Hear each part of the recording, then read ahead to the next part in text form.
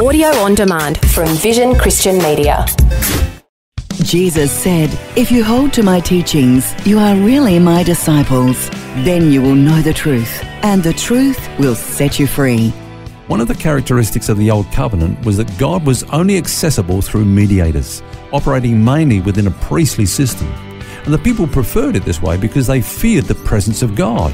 At Mount Sinai, as the law was being given, the people were so afraid that they kept their distance from God. They said to Moses, You speak with us, and we will hear you, but don't let God speak to us because we will die. The Old Covenant then was very much a second hand religion. What little closeness to God there was under that system, with few exceptions, was confined to the tribe of Levi. Even then, when the high priest went into the holiest place once a year, the people stood outside in fear and trepidation, waiting for him to come out. They knew that if one prescribed duty was not carried out correctly, he would be struck dead and they would experience his holy indignation. The presence of God was dreaded. Thankfully, things are much better under the new covenant. In contrast to that old fear based arrangement, we now have incredible intimacy with the Father. For you did not receive the spirit of bondage, says Paul, again to fear, but you receive the spirit of adoption, by whom we cry out, Abba, Father. The Spirit Himself bearing witness with our spirit that we are children of God. Under the new covenant, we are urged to come boldly before God.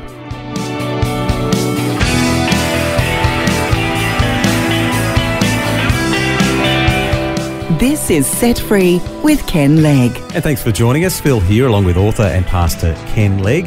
And this week we've been looking at the subject of hearing God's voice. Does he really speak to us individually? And how can we know his will for our lives? All very practical questions. Ken, as I was just listening to you contrasting between life under the old covenant and that under the new covenant that we're under now, I'm so glad that we are where we are now um, used a phrase just then called second-hand religion. The, the old covenant was second-hand religion. What do you mean by that? Well, of course, I'm referring to this whole system of approach to God under the old covenant, which was that the ordinary person couldn't approach him directly. It could only come through a human mediator. Of course, that's all changed under the new covenant. Mm. God intends for us to enjoy an intimacy with him which was unknown during the years of the old covenant. The removal of fear that we spoke about just there earlier on there was only one essential requisite for this. You know, in in order for us to know intimacy, we've got to be free of that fear. But another necessity was the bringing to an end of the role of human mediators. We now enjoy the priesthood of all believers. And that's a distinct feature of the new covenant. So we can go directly to God ourselves. We don't have to go through somebody else. Absolutely correct, Phil. No go betweens. All have equal access to God. So the two tier system, if you like, which characterized the old dispensation, has been done away with.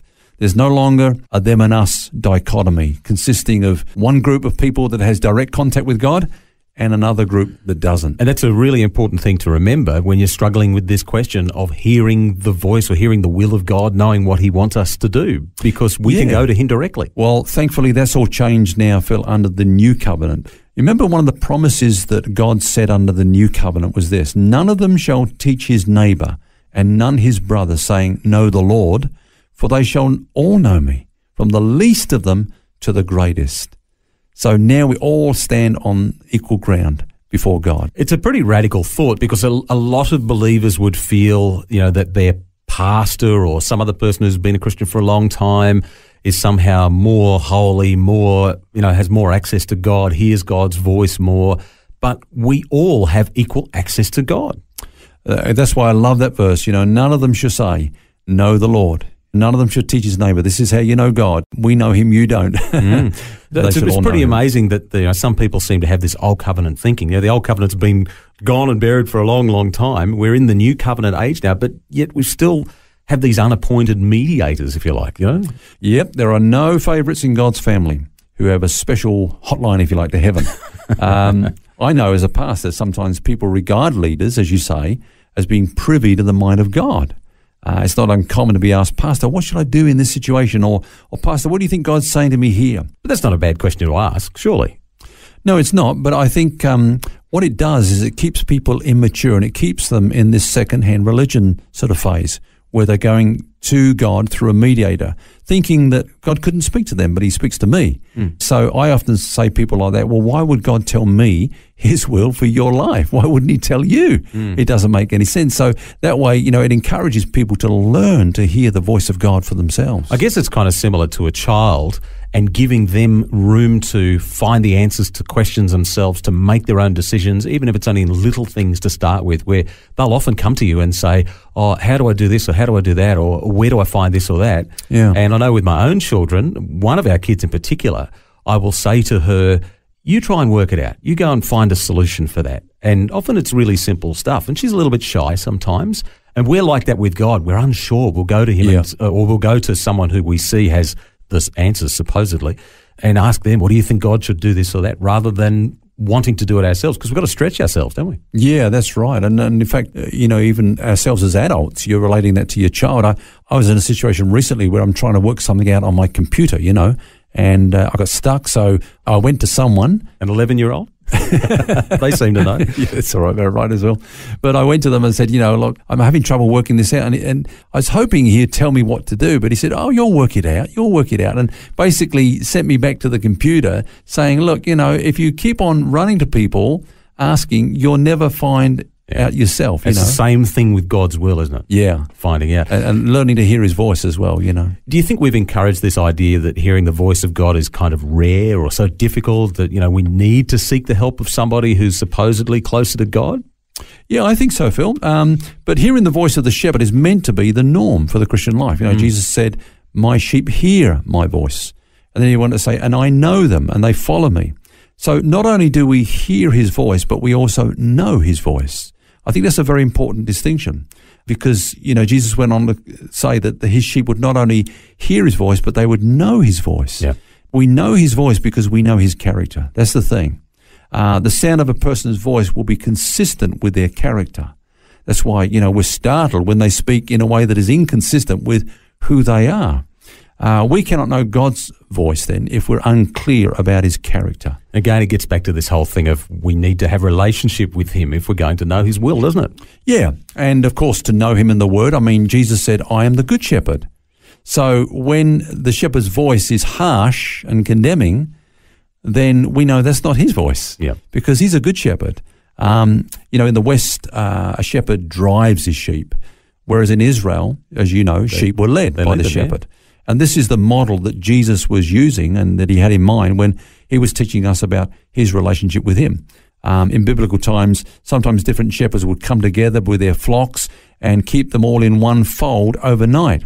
Now, the sheep from the various flocks would get hopelessly mixed up with each other, and uh, uh, maybe an onlooker would just say, well, How on earth are they going to unravel that mess, you know, of, of sheep? But in the morning, the shepherds would each go their own way and they would call out to their sheep. And amazingly, the sheep would recognize the voice of their hmm. own shepherd and follow him in a long, straight line. That's amazing. Yeah, and Phil, but what it goes on to prove or demonstrate or illustrate, if you like, is this point that the reason some Christians fail to hear the voice of God is that they've not learned the truth about his character. Once we know his character, we'll begin to recognize his voice more clearly. I think there's a big difference with us today to when the disciples were on earth and Jesus was on earth with them. He physically was there with them. We don't have Jesus physically here with us. But of course, we do have the presence of the indwelling of the Holy Spirit, and everybody has that same Spirit. So, really, it is a level playing field, isn't it?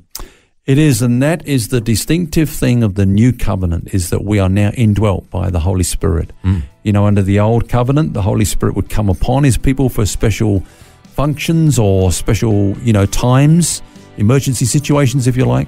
But thankfully, under the new covenant, we're indwelt by the Holy Spirit. You know, where we are, God is. So where God is, we are. And uh, we don't come to him for a special word. He's in us. And, and I think we need to kind of um, uh, make that transition from old covenant thinking to new covenant thinking.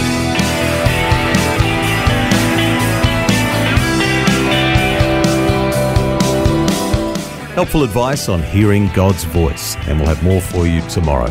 Until then, remember you don't have to carry that baggage. God wants you to be set free. For books, DVDs, small group studies, and other resources from Ken Legg and details about Ken's ministry, shop online at vision.org.au. That's vision.org.au. for taking time to listen to this audio on demand from Vision Christian Media. To find out more about us, go to vision.org.au.